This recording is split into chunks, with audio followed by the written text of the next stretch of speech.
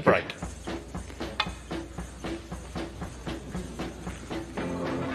And Mark has reverted to tight to do the old break-off shot he was doing last year. Off the back cushion.